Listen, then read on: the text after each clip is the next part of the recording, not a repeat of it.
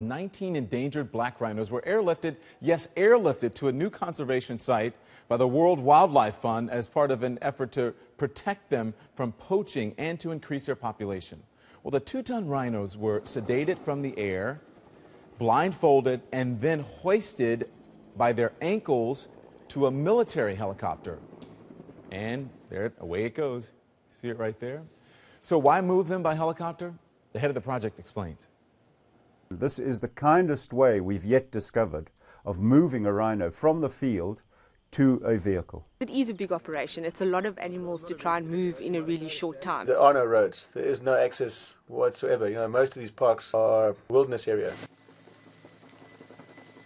This video I have ever seen. Have you ever seen anything like this? After that 10 minute chopper ride, doctors woke the rhinos, and despite the upside down flight, we're told the animals didn't feel a thing. That's pretty amazing, I have to say.